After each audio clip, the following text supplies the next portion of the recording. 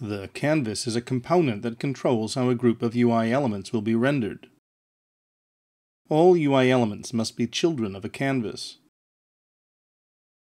It is possible to have more than one canvas in a scene, but to use a UI element, there needs to be at least one available canvas. If a new UI element is created and no canvas exists, a new canvas will be created, and the new UI element will be attached to that canvas as a child. Each canvas has a number of different possible render modes. The render mode can be set by using the Render Mode pop-up menu. Screen Space Overlay is the most common render mode, and it is the default render mode setting for a canvas. With Screen Space Overlay selected, the UI will overlay the scene, and all of the UI elements will be drawn on top of everything else rendered in that scene. In this mode, the canvas will fill the screen automatically, and will resize automatically if the screen settings change.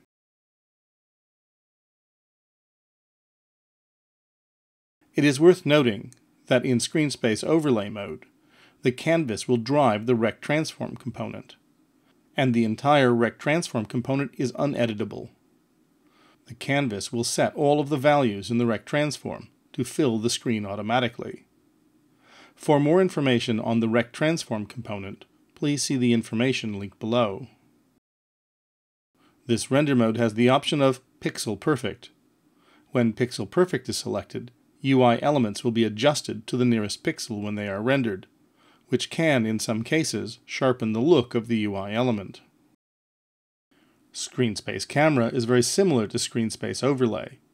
It is, however, rendered by a specific camera in the scene. This will allow camera-specific settings to be applied to a screen space UI. The most common being the use of a perspective camera to give the UI a feeling of depth.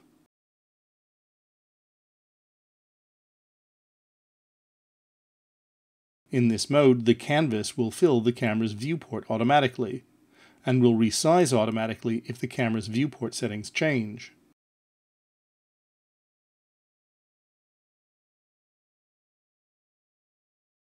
In this render mode, the rect transform is also being driven entirely by the canvas.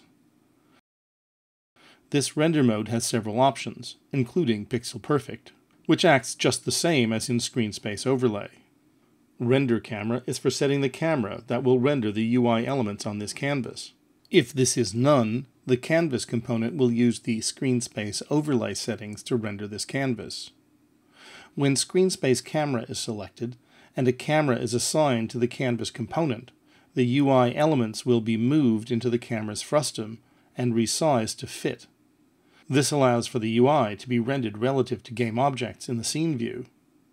To control where in the scene the UI elements will be rendered, use plane distance to move the canvas closer to or farther away from the camera. The canvas and its UI elements will be automatically resized to fit the frustum based on their position in front of the camera. It is worth noting that the plane distance must be within the rendering camera's near and far clipping planes to be rendered. When using Screen Space Camera, the canvas can be rendered by any camera in the scene. To isolate a canvas and its contents from any other cameras rendering the scene, use the camera's clear flags, culling mask, and depth properties. For more information on how to use these camera properties, please see the information on cameras linked below.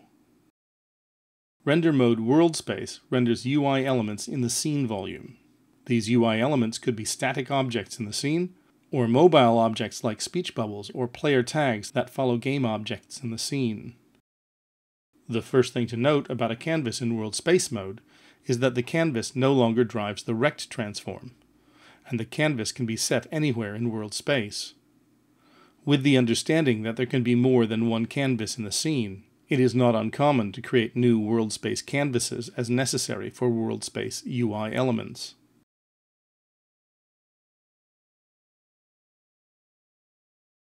Event camera is required to receive events and determine which camera will be used to detect events like clicking on a UI element. In most cases, with Screen Space World selected, this event camera will be the camera rendering the scene. Received events indicates whether the UI elements on this canvas will receive events, like clicks and hovers. Disable this property to ignore events on all UI elements that are children of this canvas. Sorting order and order in layer are for controlling the render order of the canvas when compared to other renderers in the scene. Sorting order and order in layer are exposed on the canvas component and are available for canvases set to either screen space camera or world space. For more information on sorting layers and order in layer, please see the information link below. UI elements on a canvas will be rendered in a top-down order, where the first items are rendered at the back and lower items are rendered later and appear on top. To change the order in which a UI element renders, simply change its order in the hierarchy.